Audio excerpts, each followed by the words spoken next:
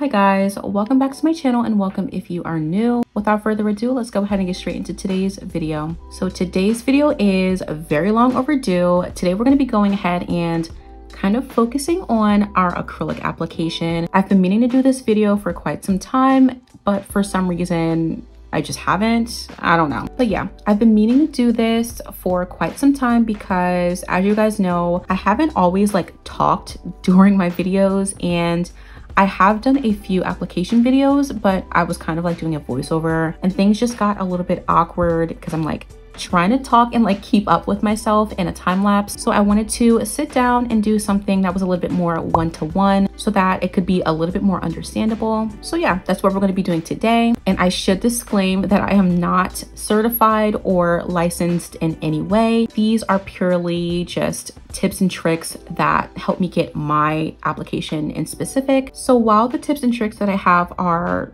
useful to some degree. I am not certified or licensed. So do not take my words as like the end all be all because I'm still just like a regular person. So yeah, enough of me talking. Let's go ahead and get straight into that. So here are my natural nails. And as you can see, I already have my peel off base coat fully applied. Now for those of you who don't know, I like to use a peel off base coat so that I can go ahead and pop these off directly after I finish my sets. And it just makes the removal process a lot less invasive and more gentle on your nail beds. And if you're interested in seeing how I apply my peel off base coat, I will leave a few videos in the cards above for you guys. Okay, so I went ahead and sized out all of my nail tips for today and I'm gonna go ahead and glue them on using some base coat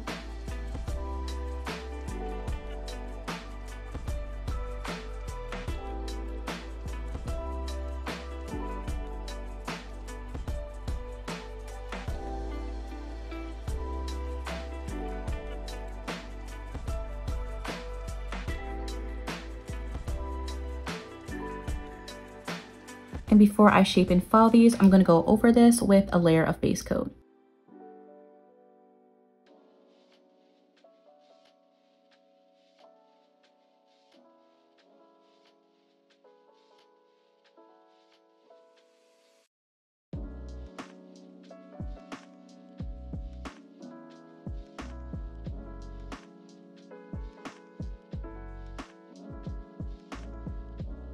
All right, so the tips are fully applied and the next thing I'm gonna go ahead and do is cut them down. And to cut them down, I'm gonna be using my tip cutters. I'm probably gonna keep them kind of long, so I might cut it to about here.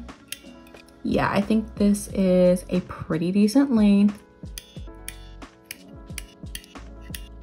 Now before we get into the application, I'm gonna go ahead and shape up the free edge using my 8080 grit nail file. I don't really like to focus too much on filing the sides yet because the tips that I am using are pretty straight and if I file the sides too much, it can start to create a ledge where as you can see, it's already nice and straight and I don't really wanna mess that up. But for now, we're just gonna focus on the free edge.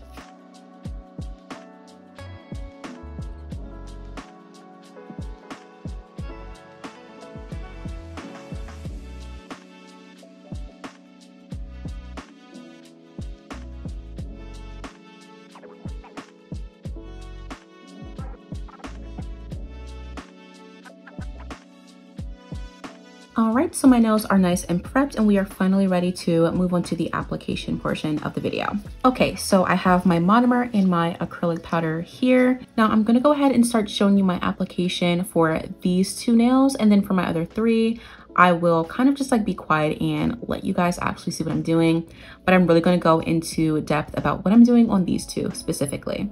All right, so first off, I do wanna start by saying that normally when I'm doing application, I don't like to focus too much on doing a certain method. So for example, I don't do the three, two, or one bead method. I try and use that as like a starter ground, but for the most part, I kind of add as many beads as I need because I really want my application to be as smooth as it can be so that my shaping process doesn't take too long. But for the sake of today's video, I will try and walk you through the three bead method, kind of. I will be adding some beads here and there, so it won't technically be the three bead method, but we will kind of be using that as our basis. So when I'm doing the three bead method, I like to visualize my nail split up into three different pieces. That just allows me to visualize where I want to place my beads so that I get a good structure going. All right, so I'm going to dampen my brush, make sure that all of the bristles are nice and coated. Once I have my brush nice and damp, I'm going to drain it on one side and dip into the side that I didn't drain. So again,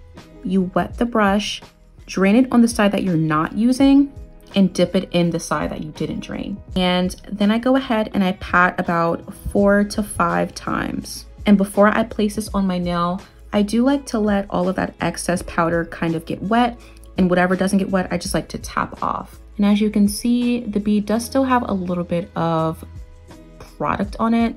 So I kind of just like to tap it off a little bit and then I apply it.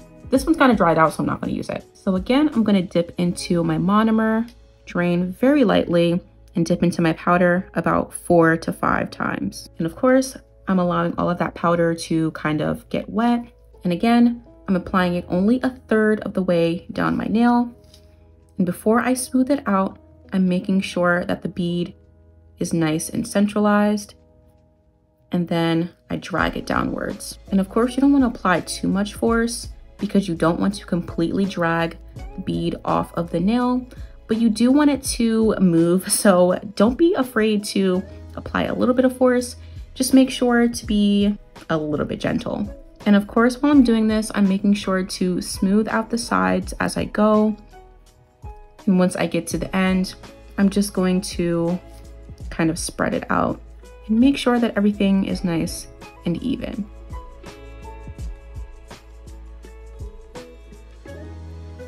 So this is the first bead. Now, normally it's not this dry, but trying to do this while I'm talking is a little bit difficult. But as you can see, the bead is a third of the way down and it's covering all sides. And we are ready for the second bead. Now I'm basically going to repeat this process. I'm going to dip it into my monomer, drain one side very lightly, and pat into my powder four to five times. And then afterwards, I go ahead and apply it to my nail and smooth it downwards.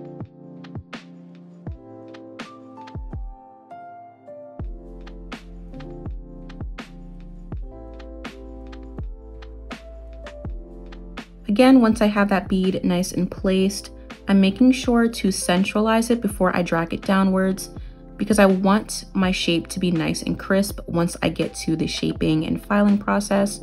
And once I have it centralized, I do like to just smooth it downwards. I'm making sure to bring in the sides using the body of my brush. I wouldn't recommend doing this because as you get down further, the bristles move a lot easier. So I do recommend using kind of like the base of the brush because the bristles here are pretty stiff. All right, so we are two thirds of the way down the nail and this is what it is looking like so far. So now we're gonna apply our cuticle bead and this bead is definitely the most critical bead to apply. Especially for beginners, this bead is definitely a little bit more difficult because you don't want to apply the bead and it's like flooding all over the place and you don't want it to be too dry because you want it to flow seamlessly into the cuticle. So this bead definitely takes a lot of practice and you want to make sure that your liquid to powder ratio works for the liquid and the powder that you're actually using. So for today, I'm using my Young Nails monomer and my Valentino powder.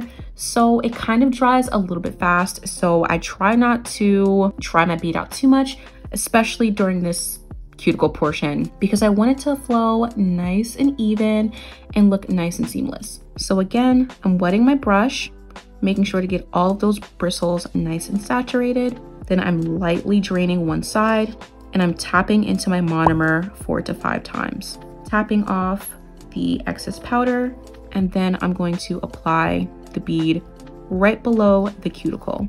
Now before I smooth it down, I do like to make sure that my cuticle area is nice and situated. Once it's situated, I like to smooth down the sides first just to make sure that everything is nice and seamless. And then I go and I smooth out the middle. Like I said before, this is kind of difficult doing while I'm talking because the bead is like drying out and stuff. So I kind of like missed this area and this area. But that's okay because like I said, I don't like to follow the three bead method too closely. And I do like to add beads here and there just to make it look, you know, as close as to perfect as I can get it. So I'm just going to take smaller beads and place it in the areas that don't have any acrylic. And I'm just going to smooth out my application as best as I can.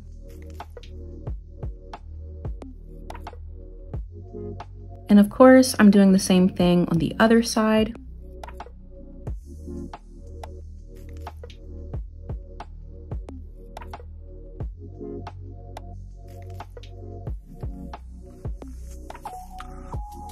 So here is the application so far. Now it looks pretty good, but I do think that it could look a little bit better and a little bit more smooth. So as you can see, we have a few like little dips in the nail. Now I am gonna go back in with some smaller beads just to make sure that it's nice and level. I'm basically doing the same thing that I did with the sides and I'm kind of just going in those little spots that are missing acrylic and I'm adding some there just to make it nice and smooth. Now when you're doing this, because you're using such small beads, you want to make sure to use very light force because you don't want to take off the bead because that kind of just like defeats the purpose of putting it there. So as you can see, this dent is pretty much smoothed out. It's not perfect, but it's smooth enough so that when you file, you don't have to over file and try and overcompensate for this area. Now I'm going to work on this area here that kind of dips towards the tip.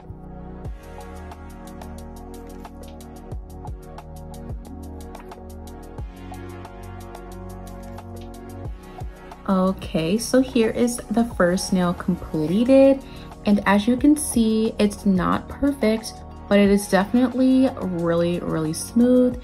And I think this is a good base to work with before we go ahead and shape and file. So now that this nail's done, I'm going to again walk you through this nail just to make sure that you have everything nice and down packed. So again, I'm making sure to fully saturate my brush and I'm going to lightly drain it on one side and dip into my powder about four to five taps. And before I apply this to my nail, I'm gonna make sure that all of the powder is nice and saturated and I'm placing it a third of the way down my nail. I'm making sure that my sides are nice and good. Make sure that no acrylic is like slipping on the sides. And then I'm going to lightly pat and brush this downwards. And as you can see, I kind of have to work a little fast because it's kind of warm in my room and I am noticing that my beads are drying a little bit faster than usual, but that's okay. That's nothing that we can't fix.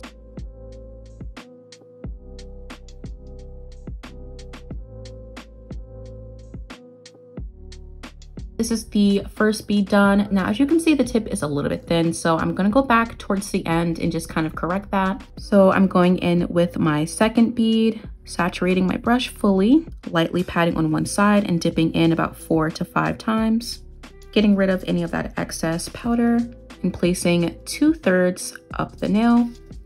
And again, before I smooth it out, I'm making sure to centralize my bead. And then I go ahead and I smooth it all out.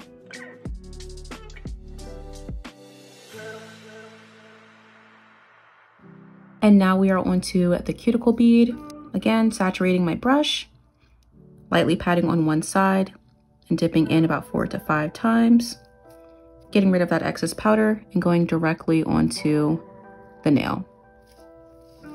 And of course, if you get it on your skin, make sure to remove it as quick as you can because you really don't want this stuff on your skin. Now, before I smooth this out, I'm gonna make sure that I have my cuticle area nice and situated.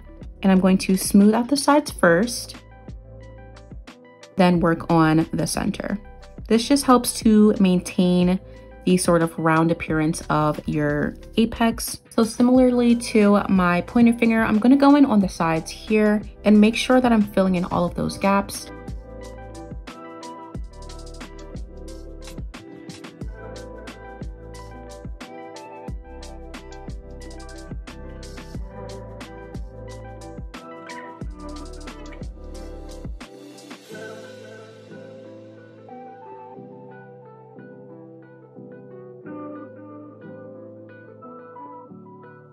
Now, as I said towards the beginning, my tip is a little bit too thin. So I'm gonna go back in with some more acrylic and just make it a little bit more structured, similarly to my pointer finger.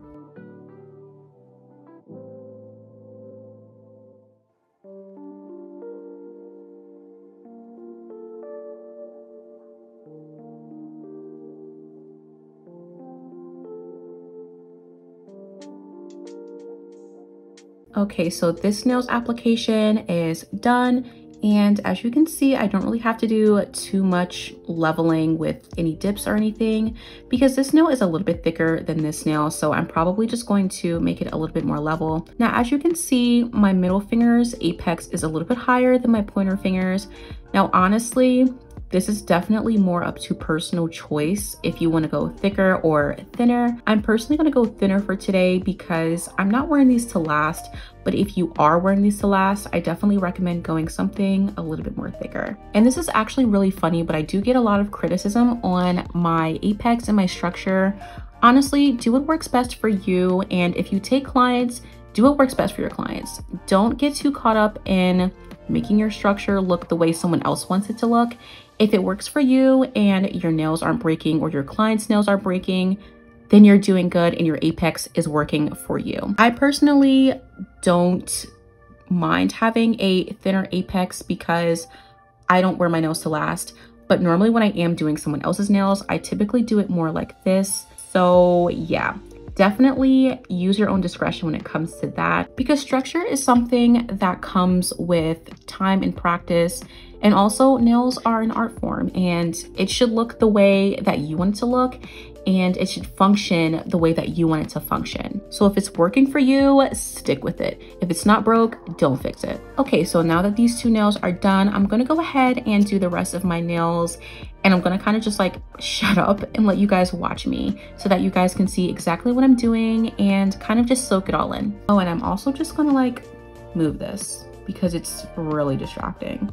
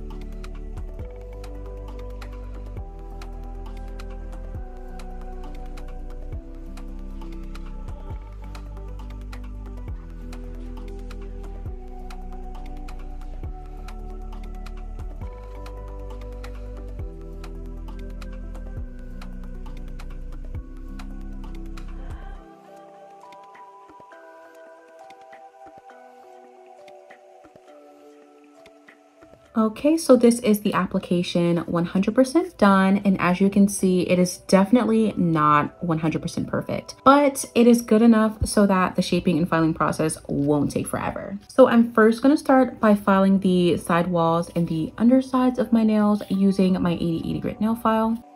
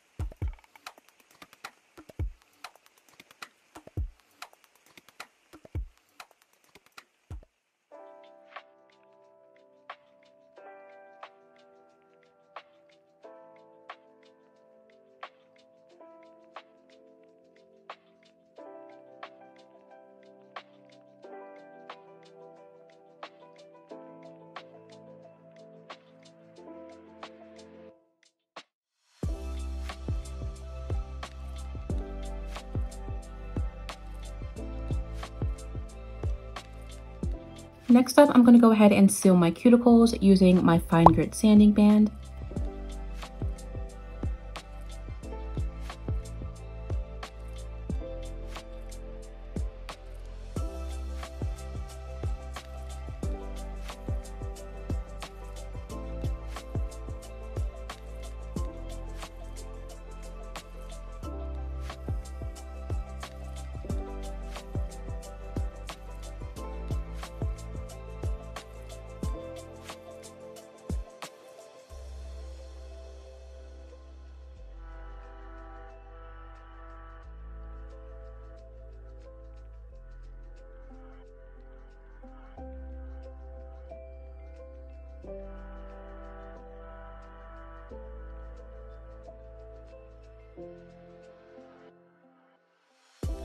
All right, and now I'm gonna go back in with my 8080 grit nail file just to completely file over the surface.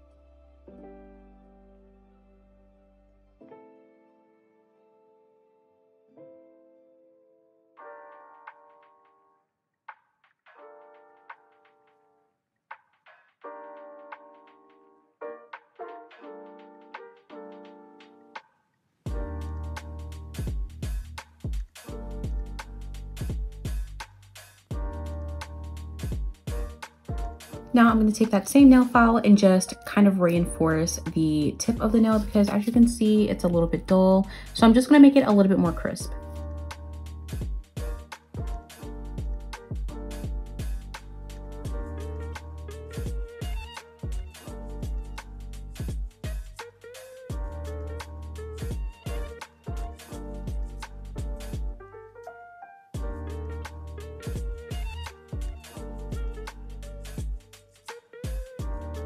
Now I'm going back in with my fine grit sanding band just to go ahead and file underneath and make it a little bit more thin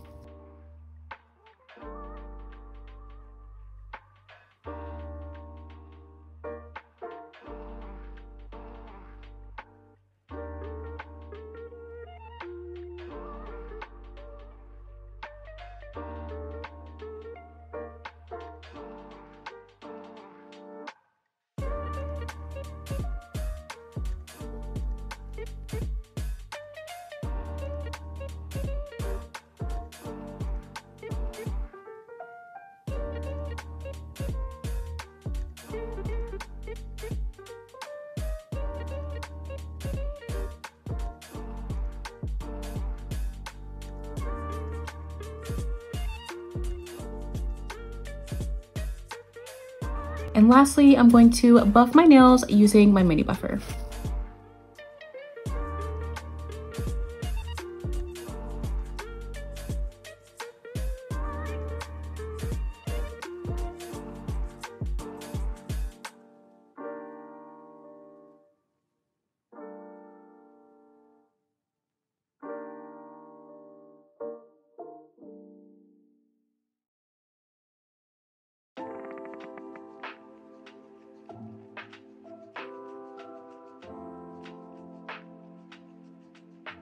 I'm just gonna go ahead and quickly wash my hands and then we'll get straight into today's nail art. Okay, so my hands are nice and washed and we are finally ready to move on to today's nail art. Now today's nail art is gonna be super simple because I really just wanted to focus more on my application. So today we're gonna be doing the very viral like nail trend that was like more viral like a few months ago, to be honest. So it's the nail trend where it's like a chrome swirl and the end of the tip is um, kind of like covered in that chrome powder. Now this set was more popular like a few months ago, but I never did it and I kind of feel a little bit left out. And I also wanted to do something a little bit more simple because I don't want to distract from the main point of today's video, which is the application. Okay, so I just have my mixing plate here. Now for today's nail set, all I'm really going to need is some black gel polish and a chrome powder of your choice. And I am going gold just to like match my jewelry. And lastly, I'm gonna need some rhinestone glue and some top coat. Okay, so the first thing I'm gonna do is put a little bit of this black gel polish onto my mixing plate.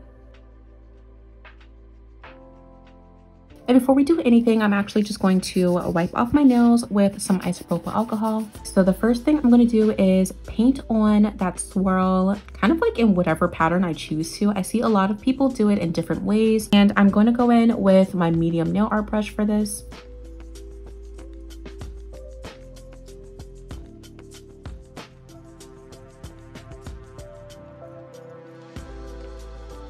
And now I'm just taking this black and I'm just gonna go ahead and fill in all of those gaps.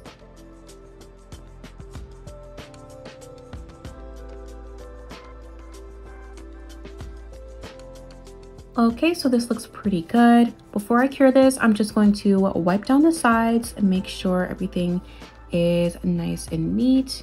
All right, so I'm gonna go ahead and cure this for a full 30 seconds. It is fully cured and now I'm gonna go ahead in with my chrome powder of my choice. So normally when I'm doing chrome nails, I like to go with the less is more approach because you don't wanna put too much chrome powder because it starts looking really grainy and I want it to look more mirrored.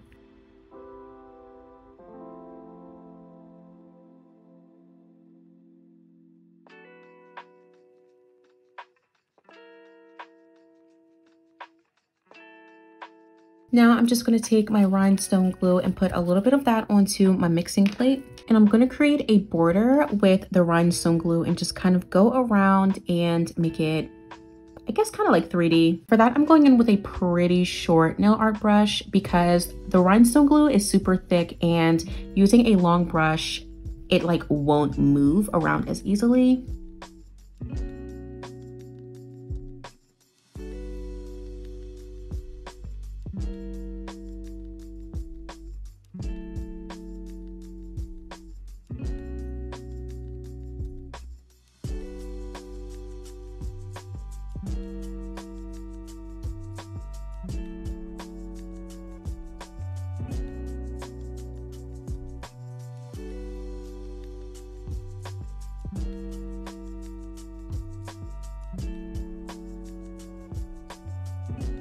So I have something that looks like this. I'm gonna go ahead and cure this for a full 30 seconds just to kind of like flash cure this.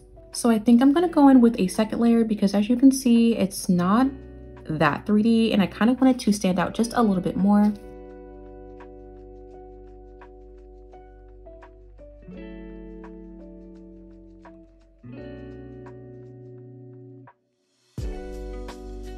Okay, so I think that's a little bit better. And again, I'm curing this for 30 seconds. Okay, and honestly, that is it. The last thing I need to do is just go over this with a layer of top coat.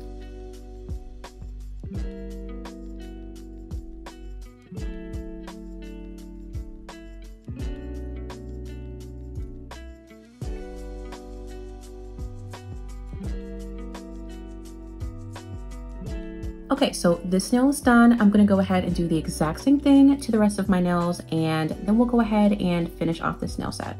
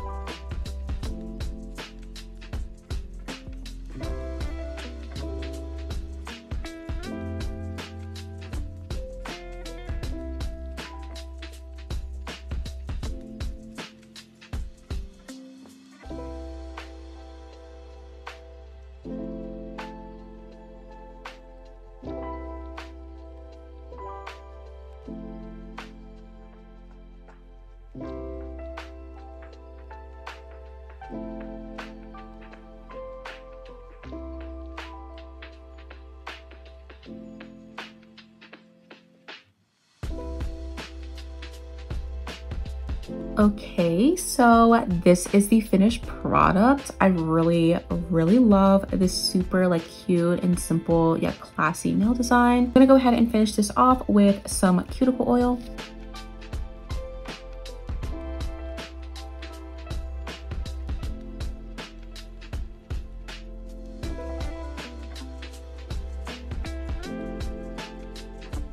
And that completes today's set. I really do hope you guys enjoyed this one. I know that like I'm not the greatest teacher, but I really hope that you found this to be useful, especially if you are a beginner and you're trying to perfect your acrylic application. Now, of course, this is not a tutorial on how to make it super perfect, but it definitely does help with shortening your shaping and filing process and making the entire process a lot shorter. So of course, if you have any feedback for me, definitely let me know down in the comments And of course, I would love to hear what you guys think of this nail set. And again, I know this was trending like months and months ago, but I really wanted to jump on it and like try for myself. And yeah, I really enjoyed how it came out. I think it's like super elegant and just like really classy. If you guys have any suggestions for any future videos that you guys would like me to create for you guys, whether it be nail designs or tutorials such as this one, definitely let me know down in the comments below. But as always, I want to say thank you guys so, so much for tuning in today and I will see you guys in the next one.